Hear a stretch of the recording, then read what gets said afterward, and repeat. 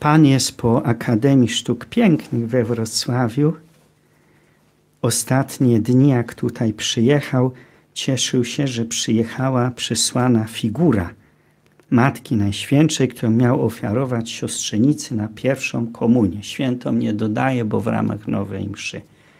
Popatrzyliśmy, jak byliśmy tu w domu na ową Matkę Najświętszą, jak Matka Najświętsza i tak i nie. Strój, wszystko idzie patrzeć, a twarz nie da się patrzeć.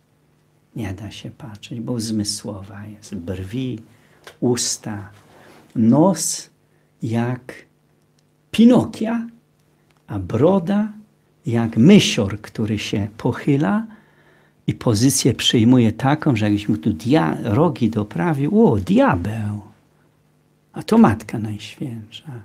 Taka jak Żydówka, jak Cyganka, w każdym razie patrzysz, jak z bliska patrzysz, gotuje się podgrzewa się temperatura. Potem mogą być wrażenia takie, jak znam takie małżeństwo, że jak mąż kazał namalować Matkę Bożą Gieczwałcką, nie wiem dlaczego nie klękał, tylko siadał sobie naprzeciwko owego dużego obrazu Matki Bożej Gieczwałckiej. Matka Boża namalowana na tronie, tak jak jest w objawieniach Gieczwałckich z włosami długimi, lokowatymi, więc dla nas to znaczy Violeta Villas albo Gessler, tak malarka namalowała. Ów mąż jak siadał naprzeciwko obrazu i modlił się, to żona się wystraszyła, jak go widziała, że on się modli. Przyjechałem, przyjechaliśmy, kazanie, ksiądz patrzy na ten obraz.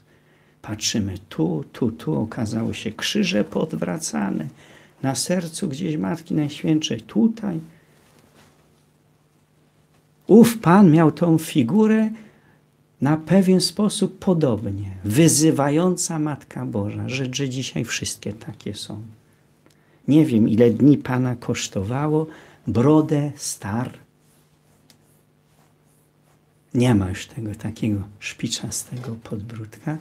Nos przyciął, odmalował, upudrował. Dziś patrzymy, piękna Matka Najświętsza, jeszcze korekta potrzebna jest.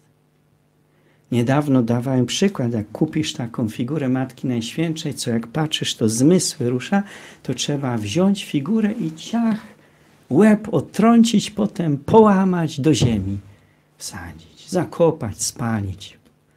Nie modlić się przed takimi figurami. Dzisiaj rada się znajduje, jakby kto taką figurę miał, taką nabył, że warto ją ocalić, szanownemu Panu można przynieść.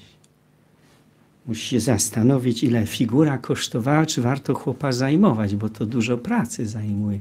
A tu jeszcze nie skończę. W każdym razie to jest do czcigodnych. Tu Matce Najświętszej oddać.